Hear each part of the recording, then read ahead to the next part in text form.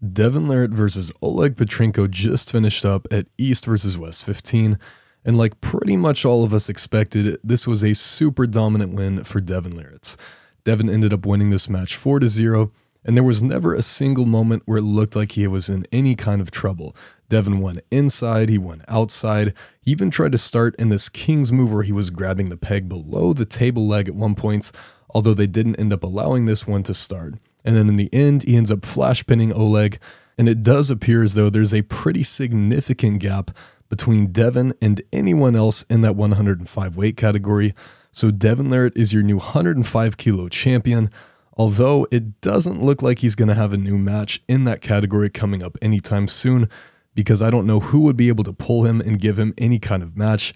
And I don't think people are going to want to watch that. So I'm guessing that Devon is probably going to bump back up in weight categories either to the 110 kilo or 115 kilo weight category, or maybe he'll go all the way back up to super heavyweights. But for now, great effort from Oleg, and Devon Larratt is the 105 kilo champion.